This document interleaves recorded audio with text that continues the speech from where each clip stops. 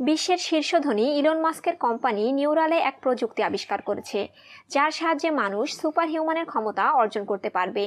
Neuralink chip মস্তিষ্কে প্রতিস্থাপনের মাধ্যমে মানুষের মস্তিষ্ক সরাসরি কম্পিউটারে ডাউনলোড করা যাবে।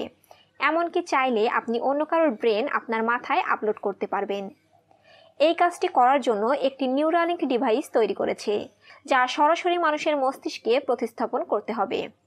এই চিপের ইলেকট্রন মস্তিষ্কের রিয়াকশনগুলোকে রেকর্ড করে এমন অ্যালগোরিদমে রূপান্তর করতে পারে যা সহজেই কম্পিউটারে পাঠ করা যায়। নিউরালিঙ্ক ডিভাইস ইতিমধ্যে বেশ কিছু শুকর ও বানরের মস্তিষ্কে প্রতিস্থাপন করা হয়েছে।